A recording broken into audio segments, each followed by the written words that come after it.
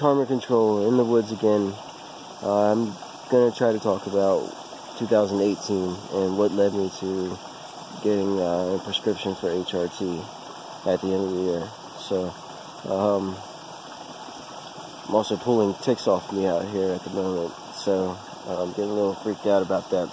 But I'm gonna try to get through this. Um, because I really love it out here, and uh, especially you know right here. My waterfall. Check me out over here. Yes. Okay. So moving on. Um, all right. So I got with my wonderfully amazing wife seven years ago. Uh, we had two kids then, uh, but before that we each had a child from a previous relationship. So after our two kids, that added up to four. Um, okay, fast forward to uh, a little bit further. I proposed to her.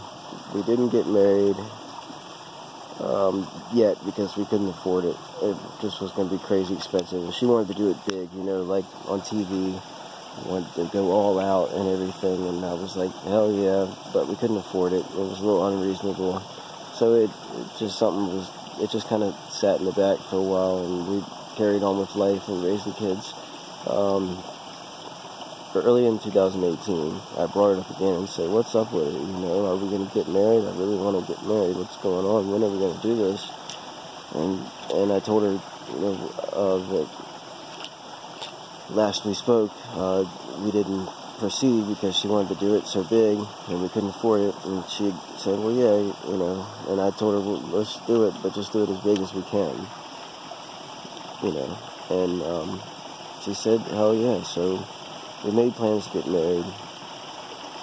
Um, we picked a date and everything and started making plans, right? Okay.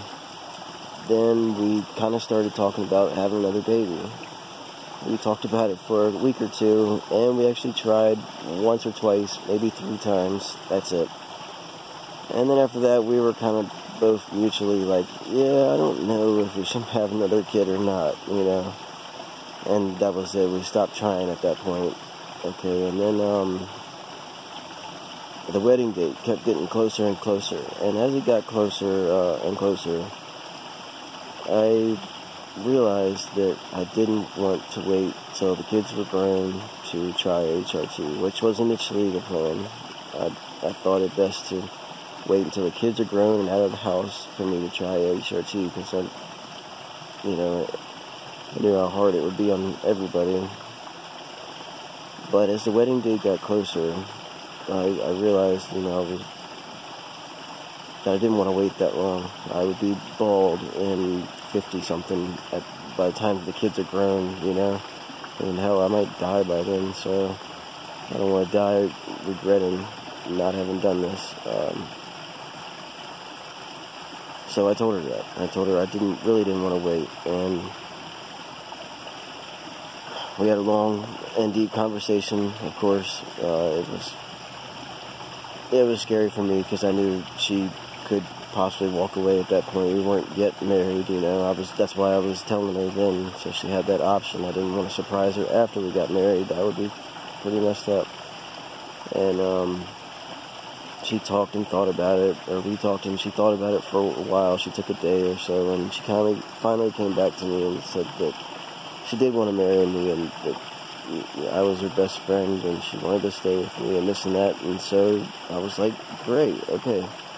So I kind of got the go ahead to make an appointment for HRT. You know, I told her that it would make me happy and hopefully a better father and all around and everything. You know, I guess if I'm more happy, then that's good for everybody, right?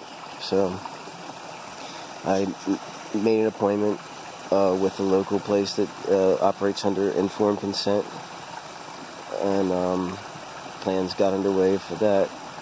All right, and then then she told me that she was pregnant. That uh, and um, you know we were both surprised because we only tried two or three times at most, like I said. Um, but there was. She was pregnant again. So um, she was worried, you know, or scared because we had complications from the last one. She had to have a C-section. It was pretty scary.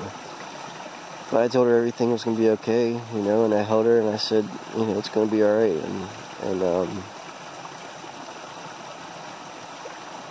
and, um, so that was that, all right. Uh, so finally we, uh, let's see, we got married and then I had my appointment with the endocrinologist at the at the doctor, and um, that was really crazy going in there that first time. Um, definitely was nervous, but they were super nice, and it went pretty well. And uh, I came back for my second appointment, did blood work, and was able to get a prescription on that second appointment, which was amazing. So very awesome because I wasn't sure if I was actually going to get it that second appointment or not because it could have gone on a little longer. But I got it, and I was super happy. Took it that day, and I'm on my way. and so she's still pregnant, still have another baby coming, and um, uh, since then I've came out to my mother. I told her. I told my oldest daughter. I Haven't figured out how to tell the little kids yet. Um, that's a hard one. I don't know how. You know, gonna have a hard time understanding at their age. But I told my oldest, and we've talked quite a bit about it. And that's pretty much where I'm at right now. Um, I've been taking little steps. Uh, you know, towards transitioning. Uh, I figured just do it little by little, not all at once. I don't want to shock everybody, but um, you know, just taking little steps. Um, they all know that I guess that my legs are shaved and my toenails are painted and um, my my youngest ones had some questions about that and we're definitely you know like a little confused, um, which I still didn't have a really good answer for them. But like I said, little by little,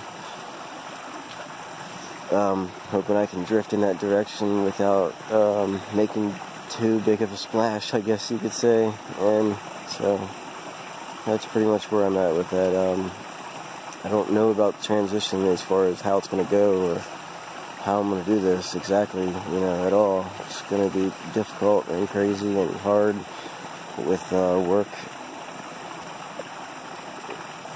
Um, and with my kids, especially the little ones. But I do know that um, I'm happy with the effects of HRT thus far and the way things are going and the direction I'm headed with all that. You know, I, am I'm gonna keep going at this point. Um, so, yep. Alright. Peace.